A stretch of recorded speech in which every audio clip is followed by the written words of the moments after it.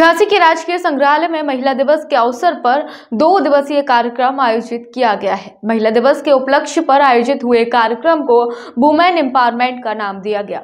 इस कार्यक्रम में महिलाओं ने बढ़ चढ़ कर कला के माध्यम से हिस्सा लिया। झांसी के राजकीय संग्रहालय में महिला दिवस की पूर्व संध्या पर कार्यक्रम आयोजित किया गया, जिसमें नेशनल और इंटरनेशनल लोगों ने इस कार्यक्रम में भाग लिया। कार्यक्रम का नाम मनु थ्री के नाम से रखा गया। कार्यक्रम में आई महिलाओं ने बताया कि बुंदेलखंड आर्ट्स सोसाइटी का जब आयोजन हुआ, तब हम अकेले ही थे। धीरे धीरे लोग हमसे जुड़ते गए और आज पूरे तीन साल हो गए हैं हमारे इस कार्यक्रम को और हम एक बड़ा परिवार बन चुके हैं। और न्यूज़ बी के चैनल के माध्यम से अपील भी की है कि महिलाएँ अपनी कला की खूबसूरती के माध्यम से हमसे जुड़ें और परिवार को और बड़ा बनाएँ। महिलाओं ने बताया कि कार्यक्रम मनु के माध्यम से लोग हमें पहचानने लगे हैं। कार्यक्रम का उद्घाटन मुख्य अतिथि जेडीसी मिथिलेश के द्वारा किया गया।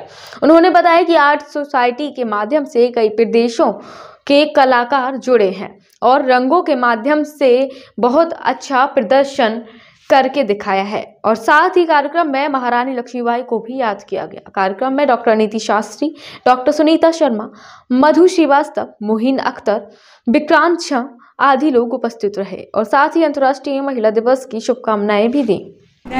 लास्ट ईयर ही मेरा स्कूल पास आउट हुआ। अभी मैं ग्रेजुएशन करी हूँ और मैं सिर्फ़ और सिर्फ़ बुंदेलखंड सोसाइटी को थैंक यू बोलना चाहूँगी कि उन्होंने ये प्लेटफॉर्म दिया है हमको कि हम अपना आर्ट वर्क स्पेशली जैसे मैं मैं आर्ट बैकग्राउंड से नहीं हूँ, लेकिन सोसाइटी में रह के आर्टिस्ट से सीख कर, उनसे इंस्पायर होकर मेरा इतना art work within months improve हुआ है। और मैं सिर्फ़ और सिर्फ़ थैंकफुल हूँ कि उन्होंने ये प्लेटफॉर्म दिया हमें कि जहाँ पे हम एम्पावर भी हो रहे हैं, हम नॉलेज भी गेन कर रहे हैं और साथ साथ में हमें एक प्रॉस हम प्रॉस्पर भी हो रहे हैं, हमें लोगों को मिलने का मौका मिल रहा है, इतना सबको सीखने का मौका मिल रहा है। So this is just wonderful महिला दिवस के ऊपर ये दो दिवसीय प्रोग्राम है। आज इसकी शुरुआत है, कल इसका समापन है। और महिलाओं को प्रोत्साहित करने के लिए ये प्रोग्राम रखा है। इसके ऑनर मोइन अख्तर सर हैं। और जो प्रतिभाएँ घर में बैठी थी, उन्हें अपनी प्रतिभा का भान नहीं था। उनको इन्होंने जागृत किया है और उन्हें सामने लेके आए। इस मुबारक मौके पर बहुत सारी प्रतिभाओं को एक प्लेटफॉर्म मिला है और उन्हें एक अपनी पहचान मिली है। उद्देश्य? मतलब किस मोटिव को लेकर आप ये हमारी जो महिलाएँ हैं जो कलाकार हैं जो अपना मतलब उनके लिए ये प्लेटफॉर्म है कि वो अपना कला के क्षेत्र में अपना ये अपना योगदान दे सकें और सब मतलब उनके लिए काफ़ी अच्छा प्लेटफॉर्म है। ये हमारा मनु जो है वो तीसरा है। थर्ड मनु है वो पहला और दूसरा मैं 2020 में स्टार्ट हुआ था। और 2020 और 2021 का भी काफ़ी अच्छा इवेंट हम लोगों का रहा है और काफ़ी सक्सेस रहा। और ये वाला भी इवेंट हमारा बहुत अच्छा रहा और काफ़ी लोगों ने पार्टिसिपेट भी कराया है और इवन इंटरनेशनल भी हमारे पास काफ़ी पार्टिसिपेशन आए थे। मैं टेन बहुत अच्छी है मतलब टेन लोग जो हैं वो इंटरनेशनल है हमारे यहाँ। जैसे सबसे कांटेक्ट किया जाता है, जैसे हमने चार लोगों से कांटेक्ट किया है तो वो और लोगों को दिखाएँगे, बताएँगे। तो इस माध्यम से हम जुड़ते चले जाते हैं। एक चेन बनती जा रही है इंडिया में और इंडिया के बाहर भी। एक आप कह सकते हैं कि ये चेन है, जो चेन है, वो इंटरनेशनल तरीके से वो बनती जा रही है और बढ़ती ही जा रही है। और बुंदेलखंड आर्ट सोसाइटी और राष्ट्रीय संग्रहालय के तत्वाधान में ये मनोचित्रकला प्रदर्शनी का आयोजन किया गया है। जो हम लोग कहना ये है कि सबसे पहले जब ये प्रदर्शनी का आयोजन किया गया था बुंदेलखंड आर्ट सोसाइटी में तो हम लोग अकेले ही चले थे। लेकिन जब अकेले हम लोगों ने शुरू किया तो उस टाइम लग रहा था कि आगे हो पाएगा, नहीं हो पाएगा। पर कैसे हम लोगों की भीड़ इतनी ज़्यादा हो गई और इतने सारे एकत्रित लोग हो गए कि हम लोगों को अनुमान भी नहीं है कि कैसे हुए हैं। तो मुझे ये सब देख के बहुत हर्ष होता है और ये प्रदर्शनी का मुख्य उद्देश्य ये है कि जो महिलाएँ घर में बैठ के जैसे कि लोक कला की काफ़ी सारी पेंटिंग्स है, जो पूजा में हम लोग स्वास्तिक बनाते हैं, या कुछ भी घर में जो पूजा पाठ पे कलाएँ बनाते हैं तो उनको वहाँ तक सीमित ना रखा जाए। उनको एक अच्छा प्लेटफॉर्म मिले, उनको अंतर्राष्ट्रीय लेवल पर बताया जाए कि हमारी ये कला घर तक सीमित नहीं है। तो इसमें सभी महिलाएँ जैसे घर पर जो फ्री रहती हैं ट्रेडिशनल आर्ट है और मॉडर्न आर्ट है, और भी आर्ट है, अपनी मतलब खूबसूरती को, कला की खूबसूरती को और निहार रही हैं। ऐसी ये टीम वर्क हमारी बढ़ती जा रही है और काफ़ी इसमें यंग आर्टिस्ट भी जुड़ रहे हैं। बहुत यंग आर्टिस्ट इसमें ऐड हो रहे हैं, जिनका अब नए विस्तार से कला का वो हो रहा है। मैंने आपको बता दूँ कि पेंटिंग बहुत अच्छी बनाई है। थैंक यू मैम ये कैनवास पर एक्रेलिक वर्क है और ये मैं काफ़ी टाइम से कर रही हूँ, जो इसमें थ्री लुक है और जो राधा कृष्ण का पेंटिंग है, ये मोस्टली सभी को पसंद आता है और अब धीरे धीरे धीरे आगे बढ़ता जा रहा है और मनु के मंच से मुझे बहुत तरक्की मिली है। मतलब लोग मुझे जानने लगे हैं। ये मेरा थर्ड मनु है। मैं शुरू से इसमें पार्टिसिपेट कर रही हूँ। और इसमें दस अंतर्राष्ट्रीय कलाकार हैं। आज की कला प्रदर्शनी वास्तव में बहुत ही बेहतरीन है और प्रदेश, कई प्रदेशों के कलाकार जुड़े हैं, जिन्होंने यहाँ पे अपनी अनुभूतियों को, अपनी कल्पनाओं को रंगों के माध्यम से इतना अच्छे ढंग से उकेरा है कि बहुत ही बेहतरीन प्रदर्शन किया है।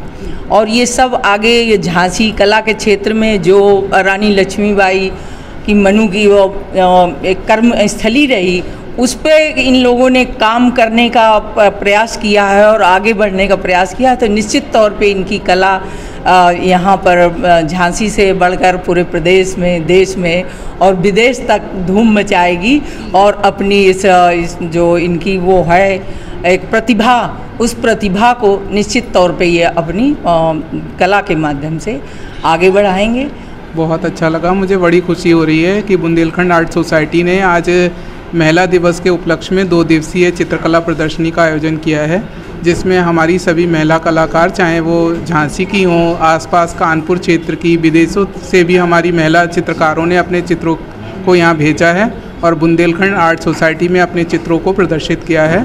उनके उन सभी पेंटिंग्स के और कलाकारों के भाव आज हमें पता चले और जिसमें उन्होंने एक से एक बढ़कर अपने अभिव्यक्ति दी है। चाहे वो रंगों के माध्यम से हो या फिर चित्रों में रेखा और रूप के माध्यम से हो सबका भाव एक से बढ़कर एक हैं जिन्होंने अपने भावों को यहाँ पे बहुत सुंदरता से प्रदर्शित किया है। अ, पहले तो मैं बीके न्यूज़ को बहुत बहुत बधाई देती हूँ कि विमेन एम्पावरमेंट का प्रतीक बनकर संध्या जी और रक्षा दोनों मेरे सामने हैं और भारत की इस ऐतिहासिक कर्मभूमि, जहाँ कला, क्रीड़ा, क्रांति की कर्मभूमि है और उस भूमि में महारानी लक्ष्मीबाई को समर्पित ये भूमि पूरे भारत में नहीं, विश्व में जानी जाती है और राजकीय संग्रहालय में दो दिवसीय Manu the power of women नाम से दो दिवसीय इस चित्रकला प्रदर्शनी का आज माननीय जेडीसी महोदया, श्रीमती मिथिलेश जी ने उद्घाटन किया है। डॉक्टर सुनीता शर्मा जी, बुंदेलखंड यूनिवर्सिटी की एचओडी, और मधु श्रीवास्तव जी, लोक कला संस्कृति समिति की, और मेरे साथ संयोजक और पूरा बुंदेलखंड आर्ट सोसाइटी परिवार आज हर्षित है कि हम अगर सच्चे मायनों में सशक्त हुए हैं तो वो चाहे हमारी कुची हो, जिसको हम आज ब्रश कहते हैं अंग्रेज़ी में, वो कलम हो या हमारी कृपाण हो या क्रीड़ा हो या हमारी क्रांति का क्षेत्र हो। तो क्रांति का बिगुल महारानी लक्ष्मीबाई ने बजाया और वो मनु एक दिन में महारानी नहीं बनी। उनकी कहानी शुरू हुई। वो मनु, मनुबाई छबीली, मणिकर्णिका बनकर उन्होंने महारानी लक्ष्मीबाई झांसी रानी बनी, राजा गंगाधर राव से विवाहित होकर। और ये इतिहास हम गुणगान नहीं करते। ये चित्रकारों ने आज सिद्ध किया है सारी महिला चित्रकार जिनको मैं हृदय से बधाई देती हूँ कि महिला चित्रकारों ने माँ का रूप पत्नी का रूप बेटी का रूप बहू का रूप सास का रूप सभी रूपों को उन्होंने चित, चित्रित किया। कल्पना को साकार करते हुए ये दो दिवसीय प्रदर्शनी आज निश्चित ही प्रेरणा का स्रोत बनी है। झांसी से संध्या वर्मा के साथ रक्षा पटेरिया की रिपोर्ट।